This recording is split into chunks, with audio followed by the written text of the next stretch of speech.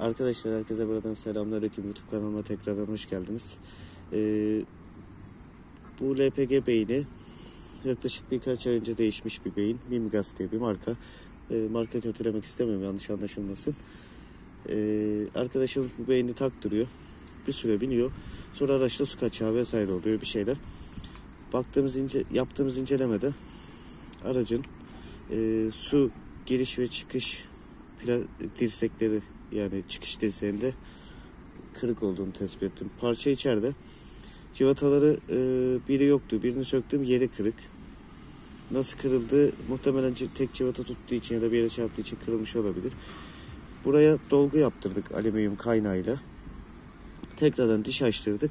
Fakat buraya aynı dişi açtıramadık çünkü e, çok kayıyor, randıman vermiyor.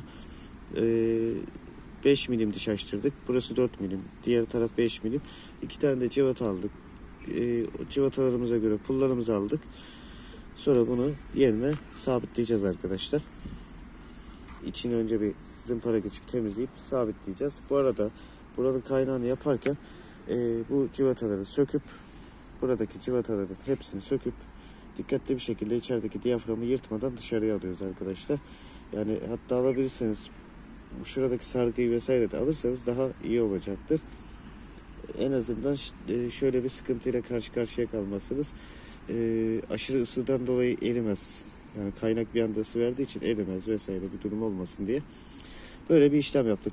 Kaynakla doldurduk. Tornacıya deldirdik. Diş açtırdık.